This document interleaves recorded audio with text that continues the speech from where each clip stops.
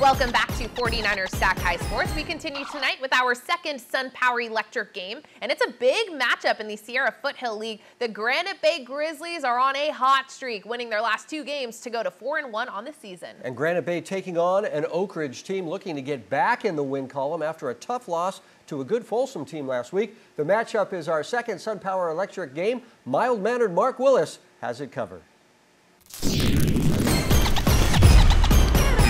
Game. That's right, we got a great one for you tonight. Granite Bay and Oak Ridge. Both teams can run the ball as the Grizzlies will look to junior CJ Herring to carry the load. As for the Trojans, they also can run the ball as well, but what might make the difference is their quarterback, the kid they call Touchdown Jesus, Maddox Valera who has thrown for over 400 yards this season. So it's the Grizzlies and the Trojans in the Sun Power Electric Game of the Week. They call it the running of the Trojans as the student section from Oak Ridge took the field to fire up the students. But what was really fired up was the Grizzlies running game. First play, CJ Herring takes the pitch and gives it right to Dominic Soares, who takes the reverse and picks up a big chunk of yards. That would set up this play as CJ Herring makes one cut and the blocking was just on point. The 24-yard scamper into the end zone just like that, 7-0 Granite Bay.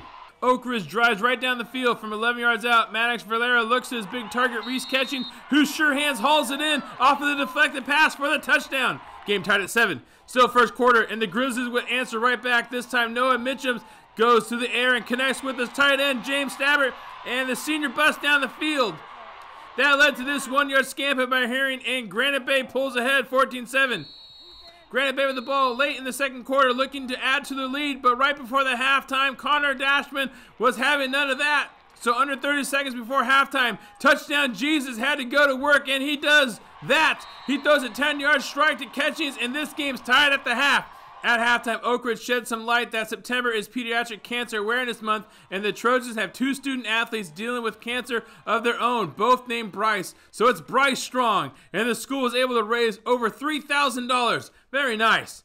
In the second half, the Trojans came out firing as Valera connects down the sidelines to Catchings, who gets up and hauls in the pass. Trojans would kick a field goal. Then the Trojans get the ball back after a muff kickoff return. That led to this 35 yard field goal by Carson Nichols.